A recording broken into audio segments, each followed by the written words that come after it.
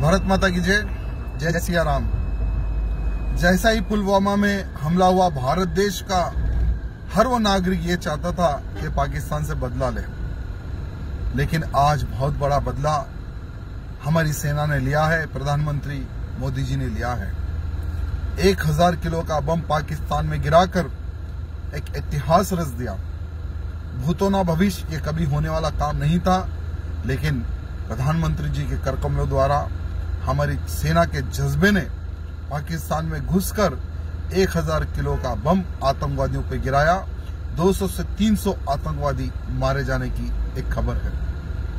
वैसे बहुत सारे कुत्ते भोग रहे थे कि प्रधानमंत्री जी कुछ नहीं करेंगे।